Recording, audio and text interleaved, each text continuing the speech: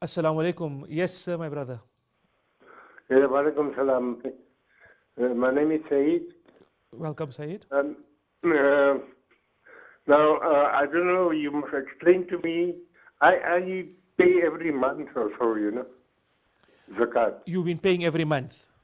Ji. Allah reward you, inshallah. So can I do that? Because uh, he's just saying now, you know, stipulated date or. Okay. So, Salim, what you need to do, very important, right? You must Yes. still do a calculation once a year. The calculation you must still do once a year. Okay? Right, okay, okay. The zakat that you've already paid is what we would call zakat in advance. Okay? Okay. So what you are going to do, let's let me ask you this ex- question quickly. When do you normally calculate your zakat, Salim?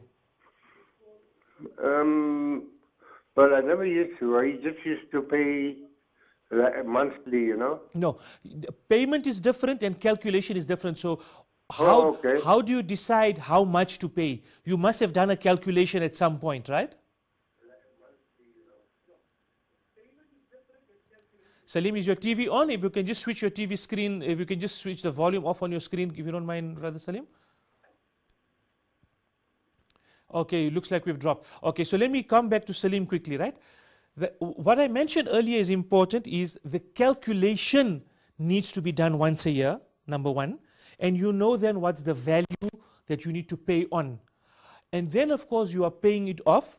And the payment that you are making from this Ramadan to next Ramadan is not for the value that you've got on hand now is actually in advance payment of your potential zakat next year.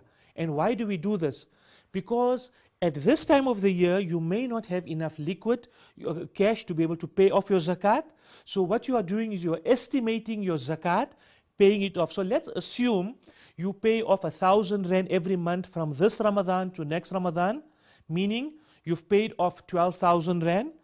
Next Ramadan, you're going to do your calculation, and your calculation will tell you zakat payable is 11 is uh, 13,000.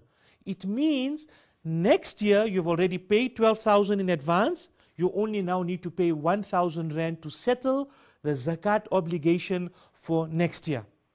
So you can pay off every month, but the payment that you are making is for next year and not for this year, inshallah. All right, we've got more callers online, inshallah. We're going to start uh, with uh, caller. Okay. So, Brother Salim, I hope I've got you back online here. Okay. So, so, Salim, was that clear for you? So, the payment that you are making, yes, you can make it, but it is for next year's zakat and not for the zakat that you're owing for this year. Okay. so, another next thing year, Yeah. yes, carry on, Brother Salim.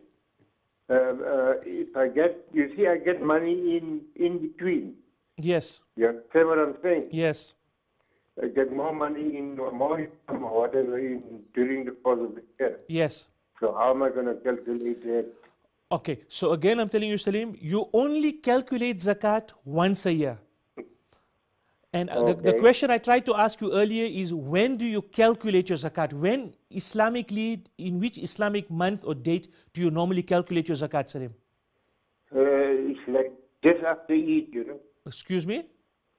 Just after Eid. Just after Eid, uh, the, the Eid al-Fitr.